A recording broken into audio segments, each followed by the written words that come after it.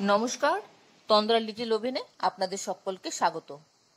সন্ধ্যাবেলায় যদি কোনো মুখরোচক খাবার খেতে ইচ্ছে করে বা টিফিনের জন্য বাড়িতে কিছু ব্রেড থাকলে কেল্লা ফতে এই রেসিপিটা দেখে নিন। এই রেসিপিটা করে নিজেও খান, অন্যকেও খাওয়ান। আসুন তাহলে দেখে নিচ্ছি রেসিপিটা এখানে কিছু ব্রেড নিয়ে নিয়েছি। এই ব্রেডগুলি দিয়ে আজকে রেসিপিটা আমি দেখাবো।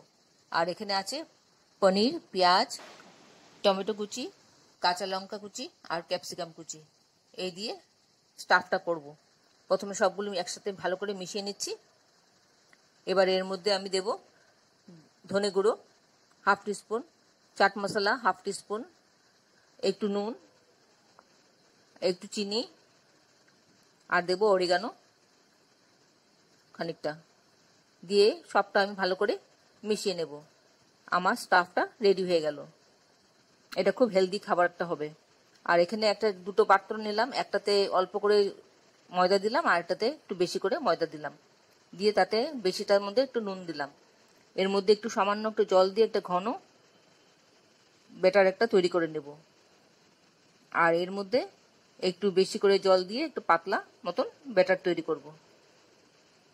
দুটো ব্যাটার আমি রেডি করে সাইডে সাইড করে নেব।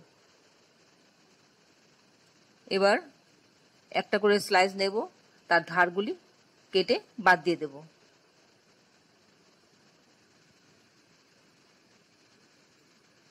এবার বেলনটা দিয়ে একটু চেপে রোল করে নেব। চারদিক দিয়ে রোলটা করব, যাতে এটা একটু ছড়িয়ে যায়।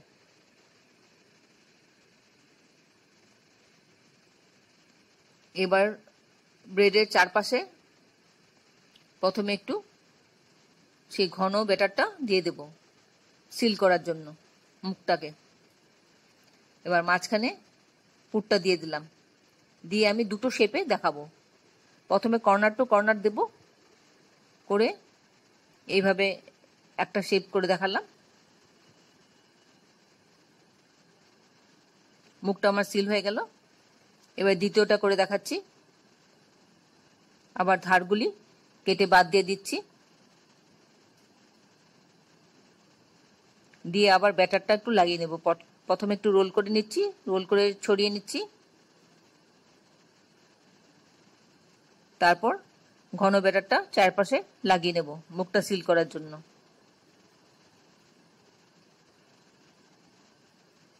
এবার মাঝখানে পুরটা ভরে দেব। এবার সাইড ওয়াইজ আমি মুখটা বন্ধ করব। এইভাবে। এই দুরকম ভাবে আমি দেখালাম, এই দুরকম ভাবে করে আপনি খাবারটা তৈরি করতে পারেন। এভাবে আমি সবগুলো রেডি করে নিলাম। এবার পাতলা ব্যাটারটা একটু নেড়ে রেডি করে নিলাম।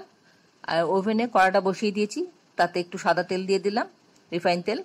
দিয়ে ব্যাটারটার মধ্যে চুবিয়ে তেলটা গরম হলে আমি দিয়ে দিচ্ছি। একটা দিয়ে দিলাম এভাবে আরেকটা আমি দিয়ে দিলাম। দিয়ে আমি লো টু মিডিয়াম ফ্লেমে ভাজবো। যতক্ষণ না ক্রিস্পি হয়, আমি দুটো সাইড উল্টে পাল্টে ভাজবো। একটু ব্রাউন কালার হবে আর একটু ক্রিস্পি হবে। তারপর আমি নামিয়ে নেব। আপনারা কে কোথা থেকে, কোন শহর থেকে, কোন দেশ থেকে আমার এই রেসিপিটা দেখছেন প্লিজ একটু কমেন্ট বক্সে কমেন্ট করবেন। আমার ভীষণ জানতে ইচ্ছা করে।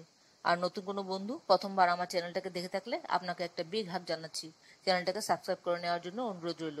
পাশে বেল আইকনটা অ্যাক্টিভেট করে নেবেন, যাতে পরবর্তী আমার সমস্ত রেসিপির নোটিফিকেশন সবার আগে আপনার কাছে এসে পৌঁছয়। আর আপনি যদি ফেসবুক থেকে দেখে থাকেন, তাহলে ফলো অপশনটা ক্লিক করবেন আর একটা লাইক দেবেন। তাহলে আপনি আমার সাথে জুড়ে যাবেন। এভাবে ব্রাউন করে ভেজে ফার্স্ট বেসটা তুলে নিলাম। এবার সেকেন্ড বেসটা দিয়ে দিলাম। সেকেন্ড বেসটাও ব্রাউন করে ভেজে তুলে নেব। এবার আমি অভিনন্দন জানাচ্ছি সাকসেস মন্ত্র জবলপুর এমপি থেকে আর লুৎফা ভিলেজ কুকিংকে অনেক অনেক শুভেচ্ছা ও অভিনন্দন। আপনাদেরকে অনেক অনেক ধন্যবাদ আপনারা আমার সাথে জুড়ে থাকার জন্য। এই রেসিপিটা আপনারা একবার করে খেয়ে দেখতে পারেন। আর বাড়িতে অতিথি আসলেও ঝটপট হয়ে যায় যদি বাড়িতে ব্রেড থাকে। কারণ স্টাফটা তো সবটাই কাঁচা ওটা তো পুর বানাবার কোনো ব্যাপার নেই। তাই রান্নাটাও ঝটপট হয়ে যায়। সামনে পুজো আসছে, পুজোর সময়ও সন্ধ্যাবেলায় এই এই ধরনের খাবার খেতে বেশ ভালো লাগে। আর এই খাবারটা খুব ঝটপট হয়ে যায়, আর বেশি তেলও খুব বেশি লাগে না। খুব অল্প তেলে এই রান্নাটা করে নেওয়া যায়, আর খুব ক্রিস্পি হয়, খেতেও বেশ ভালো লাগে। টমেটো সস দিয়ে পরিবেশন করে নেবেন। এতক্ষণ ধৈর্য ধরে আপনারা আমার এই রেসিপিটা দেখার জন্য আপনাদেরকে অসংখ্য অসংখ্য ধন্যবাদ। আপনারা সকলে ভালো থাকবেন, সুস্থ থাকবেন।